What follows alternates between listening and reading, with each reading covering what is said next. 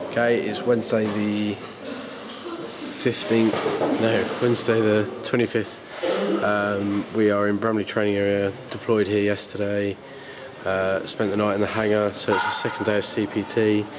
It's 6 o'clock in the evening and we have just eaten our meal.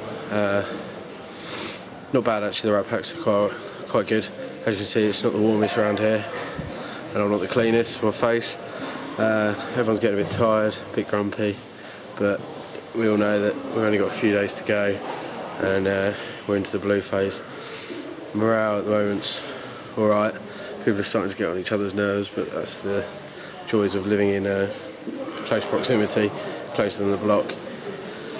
It's alright, it's good. Um, shoulders starting to hurt with all the, the carrying. Got my weapon on me, you can't see, and shoulders are starting to hurt, but hey ho, crack on. And we're off out again at half six. We'll probably be out until about 12 o'clock in the evening.